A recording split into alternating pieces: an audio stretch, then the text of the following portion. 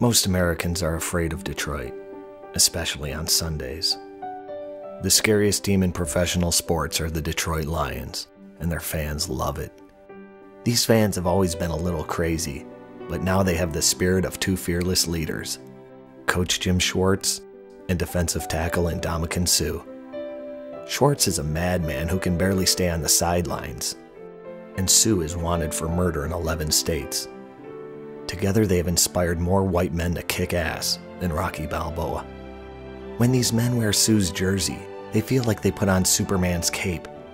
They walk a little taller, they feel a little tougher, and they give it to their wives a little harder.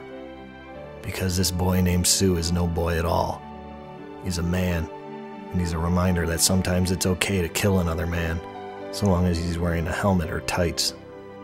And it fires these men up, because they know that win or lose, Suh is going to hurt somebody. And if he doesn't, Coach Jim Schwartz will. Detroit Lions, murderers.